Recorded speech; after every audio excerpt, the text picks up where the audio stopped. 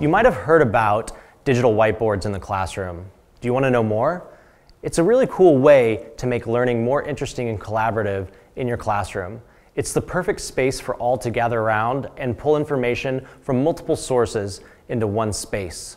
Hi, I'm Mr. Sharp. I have over 12 years experience in education and I'm one of ViewSonic's professional development trainers. Today I want to talk to you about how to get started with digital whiteboarding by signing up for a myviewboard.com account. First thing you want to do is go to myviewboard.com. You're going to locate the sign up link. And from there, you're going to choose to either sign up with Google, sign up with Microsoft, or type in an existing email. From there, select your account, making sure that you're using your G Suite and not a personal account. Select Allow to give access to your drive. And you're instantly set up. Let's fill out a few questions, such as I use my ViewBoard for education.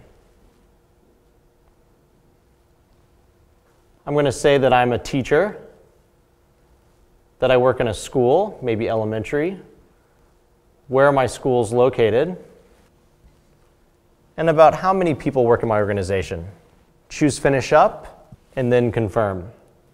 So from here, now that we have our account configured, let's talk about what just happened. We now have a whiteboarding account that is integrated with our cloud storage. When we need to bring content in from the cloud, we're going to use the myViewBoard program to be able to do that. First, let's configure a few settings. This is called the Follow Me AI. The Follow Me AI lets me configure certain things about my account. First, make sure your theme is set to education. From here, we can double check like our cloud integration. If you want to integrate with other cloud services like Dropbox or Box, you can do that here. I can also choose my pen color as well as my font style. So from here, let's choose a new purple pen color. When you're finished, make sure you select Confirm. Once you've configured all of your settings, the next piece is to download the software. Locate the download icon and you'll see this window, which has myViewBoard for Windows, so you can download that for your computer. Or if you're running Android, you can download myViewBoard for Android. I already have it downloaded, so the final piece I need is what's called the companion app. You can see that there's a link for Google Play if you have an Android phone, or a link for the Apple Store if you're using an iPhone.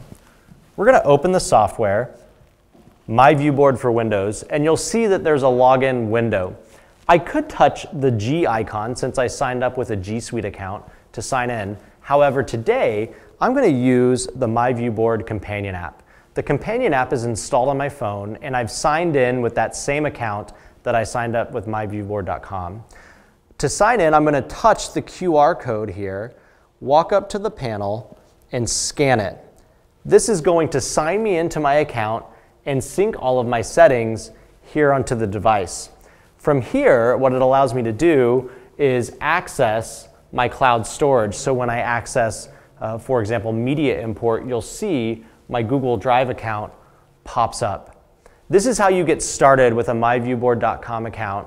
If you want to know more, be sure to subscribe to our channel for more tips and tricks. Also, be sure to follow us on social media. And let everyone know at your school you're using myViewBoard and get them to sign up. There's more information in the description for how you can get in contact with us. Thanks for watching.